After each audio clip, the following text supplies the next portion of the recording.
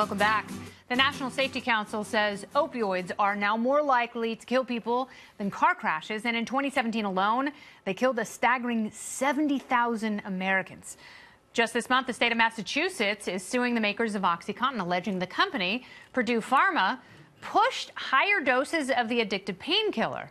So, how do we fix all of this? Yesterday, Florida Republican Congressman Matt Gaetz introduced the Medical Cannabis Research Act of 2019. The legislation aims to unlock the quote potential to research the cures offered by medical cannabis, among them opioid addiction, uh, not to mention certain seizure disorders. Congressman Gaetz joins me once again. Welcome back, sir.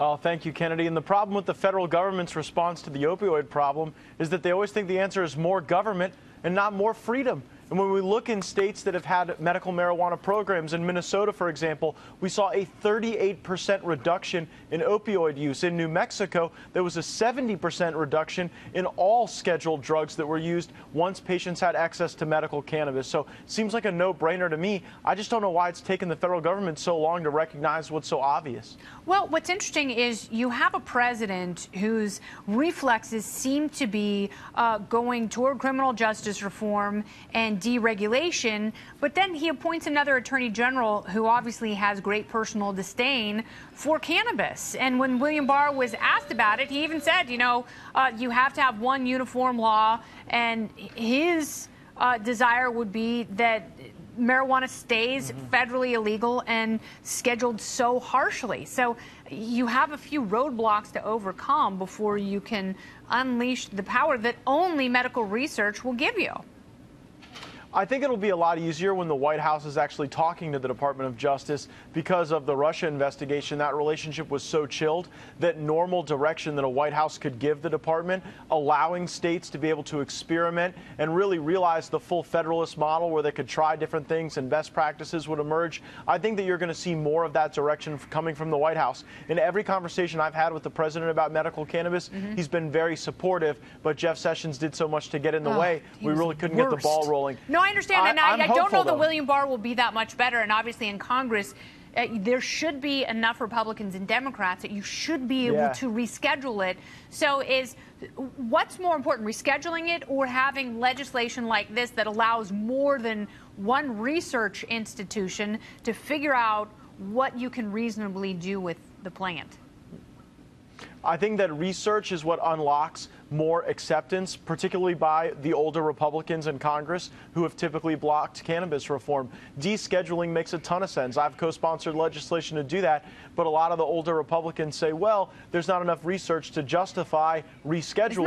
And then they stand in the way of the research. Yes. So it's so stupid to say that we won't allow common sense proposals because there's not enough research, and then they have laws that block the research. So again, I just think we should act like adults here. Republicans and Democrats ought to be able to work on this together together. And at least Mr. Barr, in his confirmation hearing, said he wouldn't do what Jeff Sessions did, mm-hmm. and that is threaten the programs that are actually helping people get off deadly opioids in states all across the country. Yeah, what and, a great solution. More freedom for people. We, we talked about this the other night. When people do have a legitimate and legal alternative, they'll, you know, yeah. it, it, shows that they will go to that first before they go to illegal opioids where they don't know what's in it.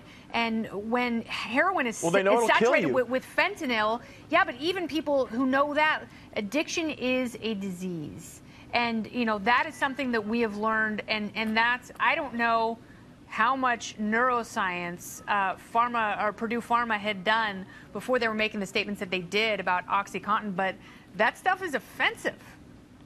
Yeah, it really is, and they're going to be held to account for that conduct. But at the end of the day, the best way to fight addiction is to not get people addicted in the first place. Yes. And so if you have low, lower likelihood of addiction with something natural like medical cannabis, our government should be rushing to make that available to people rather than having stupid laws in effect that are related to antiquated dogmas rather than modern research. Yeah, and expensive drugs that uh, the Medicare has to pay for for seniors and you know help veterans yeah. with PTSD and anxiety and other chronic conditions. Matt Gaetz, thank you for your work. I appreciate it. Good to talk to you.